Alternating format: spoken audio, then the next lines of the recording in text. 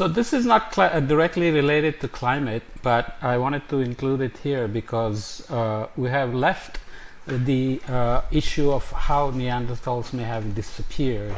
Uh, we have let it, left it unresolved in the sense that they just breed with humans so much that they completely mixed up with the modern human, or whether uh, they were somehow not as cognitively capable as uh, modern human uh, humans and they lost out in the conflicts uh, and so on right so this paper that just came out uh, argues that there is some genetic evidence that uh, humans modern humans had have greater neurogenesis in the frontal neocortex than Neanderthals. Frontal neocortex obviously is again cognitive abilities, complex thinking, language. well, language is separate, but still how to uh, process, store and process information, multiple pieces of information.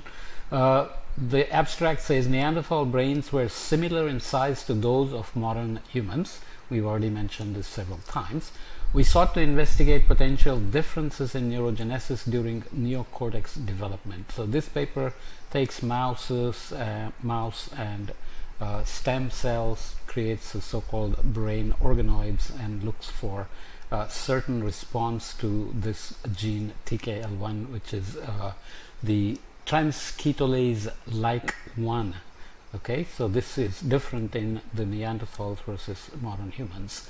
Um, modern human transketolase, transketolase like one TKTL1 differs from Neanderthal TKTL1 by a lysine to arginine amino acid substitution again we don't need to go into the details of the uh, biology itself but using overexpression in developing mouse and ferret neocortex knockout in fetal human neocortical tissue and genome edited cerebral organoids uh, we found that the modern human variant HTKTL1 but not the Neanderthal variant increases the abundance of basal radial glia but not that of intermediate progenitors.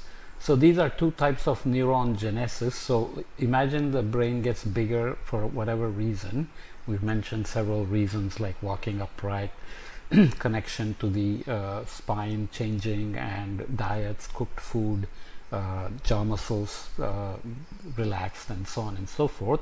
But when the brain uh, gets the the cranium gets larger and the brain grows, uh, there has to be neuro new neurons being produced and then we have to figure out what uh, uh, determines that. So we'll see in a minute that BRG has a kind of an amplification, self-amplification as neurons are produced, whereas uh, BIPs don't. So BRG generate more neocortical neurons than BIPs.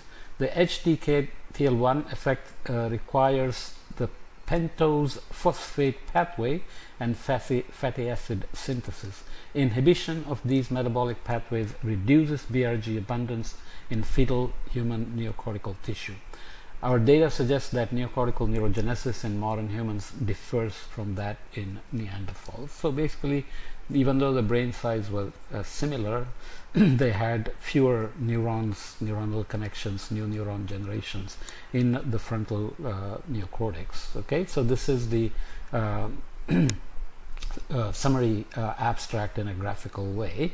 Neanderthals TKTL1 with lysine, so they have BRG as well, and you can see that the neurons are produced in Neanderthals uh, also in the frontal lobe, which is the rational thinking part. So modern humans, on the other hand, have TKTL1 with arginine, doesn't exactly say why this difference came about. So it may have been just an accident of mutation that allowed modern humans to have an upper hand over the Neanderthals.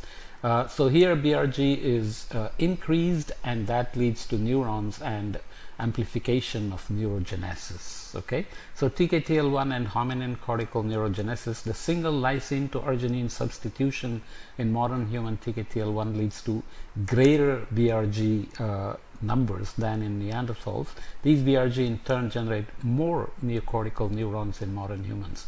Because TKTL1 expression in fetal human neocortex is particularly high in the developing frontal lobe, These findings imply that frontal lobe of modern humans contains uh, contains more neurons than that of Neanderthals. Does this say anything about how they may have been uh, uh, pushed to extinction? Not exactly, but at least it may still hold that modern humans would have uh, fought better if there were uh, conflicts which finally eliminated the uh, Neanderthals from the scene, right? So the conclusion of the summary of the paper is that in light of our finding that TKTL1 expression in fetal human neocortex is particularly high in the developing frontal lobe, our study implies that because of the single amino acid based activity of HTKTL1, the modern human TKTL1, uh, neocortical neurogenesis in modern humans was and is greater than it was in Neanderthals, in particular in the frontal lobe. So it just uh, adds another piece of uh, the evidence that may have sealed the fate of the uh, Neanderthals when they had to coexist with the humans. So there is always the aspect that they co-bred and we still have Neanderthal genes in us, uh, various quantities depending on uh, various uh, levels of contributions based on where you are from, but still this just adds another um, detail to the fact that Neanderthals did have lower um, cognitive abilities compared to modern humans, even though brain sizes were similar, and it was related to this little difference in TKTL1 uh, in uh, lysine and arginine, uh, Neanderthal versus modern human. Okay.